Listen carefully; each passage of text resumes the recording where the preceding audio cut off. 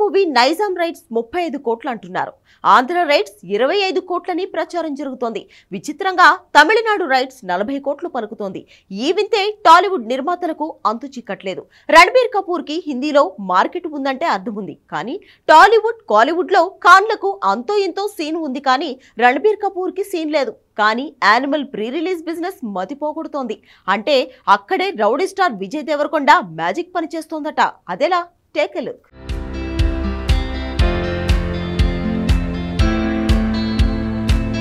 Animal మూవీకి తెలుగు తమిళ రాష్ట్రాల్లో భారీగా డిమాండ్ ఉండడం అందరినీ ఆశ్చర్యపోయేలా చేస్తోంది. అంతటికి కారణం అర్జున్ రెడ్డి అంటున్నారు.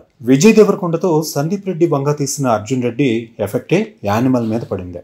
కారణం గతంలో అర్జున్ రెడ్డి తమిళ డబ్బింగ్ రైట్స్ తీసుకుని మళ్ళీ వద్దనుకున్న బ్యాచ్ అప్పుడు ఎంత నష్టపోయారో తెలుసుకున్నారు. ఈ సినిమా తమిళ మలయాళ కన్నడే కాదు హిందీ జనాలకు కూడా భాషలకు అతీతంగా నచ్చింది. అలాంటి సినిమాతో ట్రెండ్ సెట్ చేసిన సందీప్ రెడ్డి వంగానే యానిమల్ తీస్తున్నాడంటే ఇది మరో సెన్సేషన్ క్రియేట్ చేయడం కన్ఫర్మ్ ఆల్రెడీ అర్జున్ రెడ్డిని హిందీలో కబీర్ సింగ్గా తీసి మూడు వందల కోట్లు రాబట్టాడు సందీప్.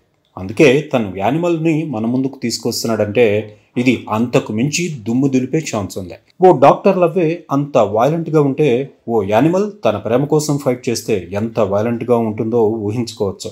అలాంటి మూవీ అంతలో రణబీర్ కపూర్కి సౌత్లో సీన్ లేకున్నా సందీప్ రెడ్డి మేకింగ్ తోడు రష్మిక హీరోయిన్ అవ్వడంతో క్రేజ్ పెరిగింది. కేవలం సౌత్ నుంచి ఈ సినిమాకు ప్రీ రిలీజ్ బిజినెస్ పేరుతో నూట ఇరవై కోట్ల రూపాయల బిజినెస్ అయింది.